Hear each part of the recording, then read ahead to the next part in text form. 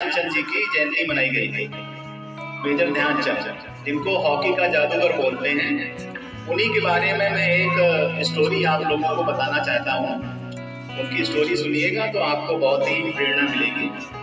उनकी स्टोरी है कि ओलंपिक गेम्स ओलंपिक गेम्स में भारत ने 1928 में गोल्ड जीता और 1932 के ओलंपिक में गोल्ड जीता।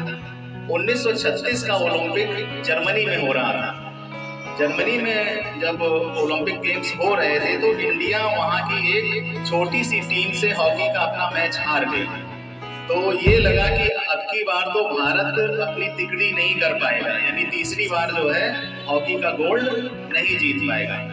लेकिन जैसे तैसे करके भारत हॉकी के फाइनल में पहुँचा। ओलंपिक के, हॉकी के फाइनल में पहुँचा। मेजर ध्यानचंद की बदौलत। तो लेकिन फाइनल से एक दिन पहले मेजर ध्यानचंद को हॉकी की स्टिक लग गई। हॉकी खेल रहे होंगे तो किसी साथी ने ऐसे करके शॉट मारा होगा तो उनके माथे पे लग गया। खून निकल आया।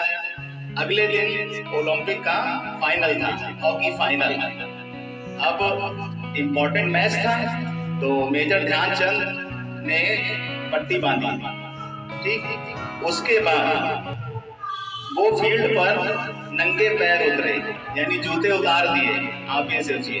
जूते इसलिए उतार दिए कि अगर वो जूते पहन के खेलते तो हो सकता है उतनी तेज वो ना दौड़ पाते।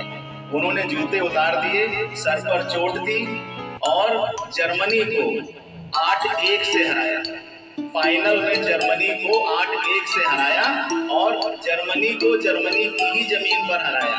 और भारत को तीसरी बार उन्होंने गोल्ड मेडल दिलवाया। इसीलिए उनको हम लोग हॉकी का जादूगर बोलते हैं। तो उनसे हमें ये सीख लेनी चाहिए कि कोई भी परिस्थिति हो, कभी हार नहीं माननी चाहिए। अगर वो उस समय हार मान जाते, मेरे चोट लग